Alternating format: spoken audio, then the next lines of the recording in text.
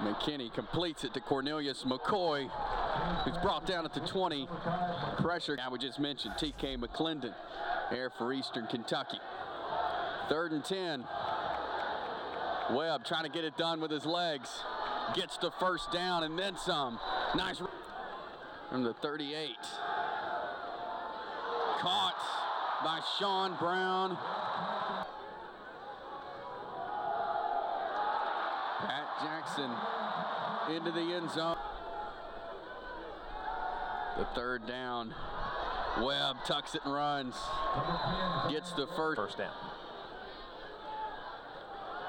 The pitch this time to Wiggins. Wiggins Prince went on to win a Division II national championship that season. What a catch! The pitch this time to Wiggins. Wiggins gets loose with a first down. Crosses. Second and goal for Webb. He tucks it and run into the end zone. Today for 76 yards.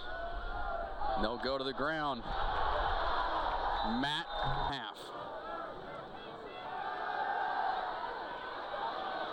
The deep ball. Galban gets it.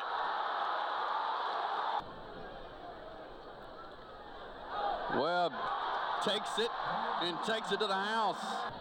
Second and 10 from the 39. Webb to Brown. He's open and knocked down for Zion Webb. And Ron Wiggins takes it and takes it to the house. Third and two.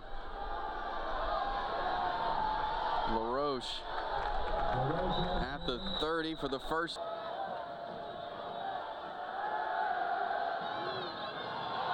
Across the middle. Dropped.